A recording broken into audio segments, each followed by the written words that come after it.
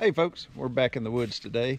Uh, if you saw my last video, yeah, I showed where I put out some corn and some Kool-Aid in the hog trap, just try to attract some hogs in there. Well, last night, um, we got pictures of a, looks like a boar hog on camera. Got in there about 11 o'clock last night. Uh, looks like he's a decent sized hog. Um, I come out here today in between storms. It's been raining off and on the last two days. So I come out here in between storms to try to get him. Uh, looks like there's a good bit of water um, just from the pictures that were sent uh, from my cell cam. Looks like there's a good bit of water in the hog trap, but maybe it won't be too nasty. Y'all are probably getting tired of seeing my hog trapping videos, but that's about all, all I've been doing lately, outdoors related anyway. Been doing a lot of work, and like I told you um, the other day, been doing a lot of work and going to baseball games. So uh, that's about the only other thing I've been doing, uh, trying to trap hogs and try to control the population a little bit out here, which is almost impossible. We're coming up to the hog trap now, and he's still in there. Um, it's like a decent little, a decent little boar hog looks like. And as you can see, there is a lot of, a lot of water and mud in the uh, hog trap there.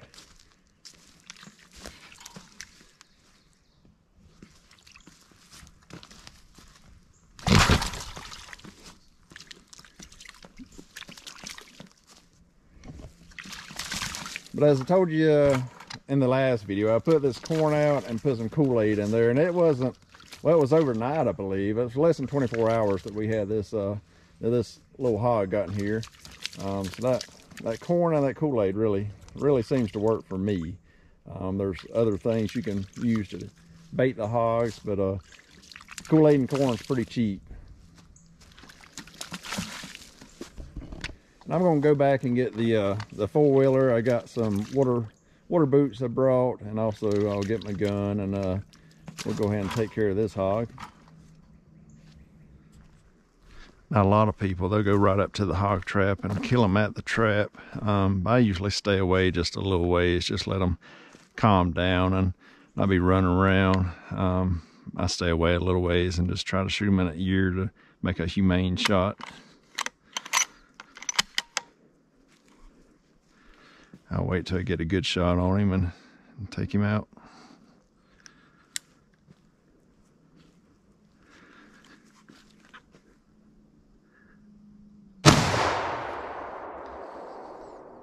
All right, guys, so we killed the hog. Um, like I said, I usually try to back away from the pen and shoot them. Um, some people go right up to it and, and shoot them right above the eyes and the forehead. But uh, either way, it's fine. I just find it easier to shoot them away, you know, a little bit away from the pen. But uh, now the fun part begins. Uh, we get to drag him out. So I'm going to get my water boots on and we'll get him on out there.